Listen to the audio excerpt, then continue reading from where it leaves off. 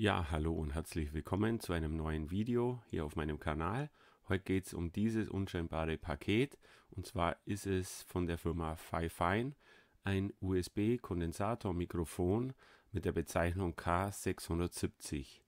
Ich hatte ja schon mal von dieser Firma ein Mikrofon äh, im Test und das hat nicht schlecht abgeschnitten und darum wollte ich jetzt äh, nochmal die verbesserte Version eben ausprobieren und schauen, was die so drauf hat. Also auf der Box kann man nichts Besonderes erkennen, äh, ist weiß gehalten mit dem Schriftzug Five Fine drauf und aber vom Gewicht her merkt man schon, dass da einiges äh, auf jeden Fall schwerer sein muss wie beim Vorgänger, äh, da einfach ähm, wahrscheinlich die Substanz mehr ist bei diesem Mikrofon. Ähm, das hat eine 16 mm Membrane eingebaut. Und jetzt schauen wir einfach mal, was sich drin befindet. Wie gesagt, ist nichts Besonderes aufgedruckt. Hier eine Internetseite und da ist der deutsche Händler aufgedruckt, die Firma Salka und dann eben die Modellbezeichnung dazu. Genau. Jetzt machen wir das einfach mal auf, das Paket. Mit der Schere geht es immer am besten. Und schauen wir mal, was drin ist. So, einmal Paket auf. Und dann sehen wir auch schon eine Bedienungsanleitung. Das war bei dem anderen Mikrofon auch so. In verschiedenen Sprachen. Und Deutsch ist natürlich auch dabei. Das ist sehr gut. Finde ich auch schön, dass es äh, farbig ist und sehr gut bebildert ist. Also da bleiben keine Fragen offen, auf jeden Fall. Finde ich super, die Anleitung. Natürlich braucht man nicht unbedingt eine Anleitung bei, bei so einem Mikrofon. Normal ist es fast alles selbst erklären, vielleicht beim Einrichten, wobei das ja auch Plug and Play ist bei diesem Mikrofon. Ist ja ein USB-Anschluss dabei. Aber man weiß ja nie, drum Anleitung gehört dazu. Also weiter geht's. So, dann ist es hier schön aufgeräumt gut geschützt. Dann haben wir hier das USB-Kabel, auch sehr hochwertig mit einem äh, Klettverschluss zum Verstauen. Das Kabel ist auch eine super dicke und ist auch gut abgeschirmt. Hat sogar auch ein Five Fine Logo drauf. Also ist speziell dafür hergestellt worden. Und ich denke mal, das ist so circa zwei Meter Länge muss das auf jeden Fall haben. Auf jeden Fall ein hochwertiges Kabel. Äh, das merkt man schon. Wenn dann der Rest auch so hochwertig ist, dann bin ich sehr zufrieden damit. So, dann schauen wir weiter. Was haben wir hier? Das ist ein sehr schweres Teil. Es ist komplett aus Metall gearbeitet, der Mikrofonfuß. Äh, also wirklich äh, richtig schwer. Ich denke mal, dass das Mikrofon so nicht umfallen kann, so, außer man stoßt richtig schwer dagegen natürlich ist gut eingepackt, so wie es aussieht. Äh, und äh, sollte auf jeden Fall seinen Job machen. So, also komplett Metall, innen das Gewinde und hinten aus so Gummimaterial, das eben rutschunempfindlich ähm, ist. Das bleibt dann eben da, wo es stehen soll und rutscht dann nicht auf dem Tisch hin und her. Das sollte auf jeden Fall passen. Als nächstes, was haben wir da? Ach, das ist der äh, äh, Fuß, kann man sagen, also der Adapter. Das sind drei Teile, die lassen sich auseinanderschrauben und dann eben je nach äh, Wunsch das Mikrofon in der Höhe unterschiedlich einstellen. Da gibt es natürlich auch bessere Lösungen auf dem Markt. Das ist eine sehr einfache Lösung aus Aluminium mit äh, Gewinde, da muss man halt viel schrauben, aber ich denke mal, das stellt man einmal ein, die Höhe, wie man es gerne hätte und, und, dann bleibt es eigentlich so. Äh, na, man kann das Mikrofon natürlich auch, wenn ihm das, die Lösung hier gar nicht gefällt, äh, kann man sich das auch in so einem äh, Mikrofonarm reinmachen.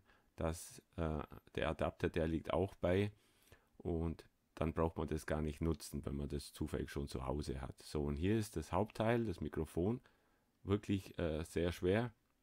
Alles komplett aus Metall gehalten. sowohl das Oberteil in Silber als auch unten im schwarzen Matt. Die Mikrofonhalterung äh, lässt sich hier verstellen. Innen ist äh, ein Gewinde auch aus Metall drin. Und man ist hier eben sehr flexibel, da man das Mikrofon auch noch unten drehen kann. Da haben wir den USB-Anschluss zum Einstecken und hier ist der Volume-Regler, wobei das nicht der Lautstärke-Regler für den Kopfhörerausgang hinten ist, sondern der Eingangspegel für die Aufnahme. Das muss man wissen, weil da steht Volume drauf, hat aber eigentlich was mit dem Eingangspegel zu tun. Genau, so dass es eben nicht übersteuert. Dafür ist es gedacht. Und auf der Rückseite ist wie gesagt ein Kopfhörereingang, sodass man hier eine Art Monitorfunktion hat. Man hört sich dann selber und äh, es ist also keine Verzögerung in dem Sinn, sondern das ist wirklich eins zu eins, was man hier hört. Kann man dann gleich kontrollieren, wie laut man ist und so weiter. So, und jetzt schraubt man das einfach mal ein, diesen Ständer hier. Äh, geht wunderbar. Das Gewinde ist sehr gut passend. Naja, mit vor der Kamera muss man eben ein bisschen genauer zielen. Dann schauen wir uns das da rein. Passt soweit. Von der Höhe her ist es eigentlich genau richtig, wenn man auf dem Stuhl sitzt, hat man äh, das Mikrofon praktisch genau vor dem Mund und kann das dann eben hier noch einstellen von, von dem Winkel her. Wichtig ist, dass man von vorne rein redet, äh, da wo das Logo ist. Das äh, macht man auch oft falsch. Genau auf diese Seite muss man reinsprechen und nicht hier. Äh, viele denken, ja, das muss immer von oben reingesprochen werden. Nee, von vorne. Da ist die Membrane drin und äh, die zeichnet es eben auf den Ton.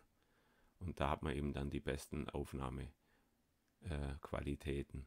Ansonsten seitlich hört man dann eben nicht äh, äh den vollen Ton. So, USB rein.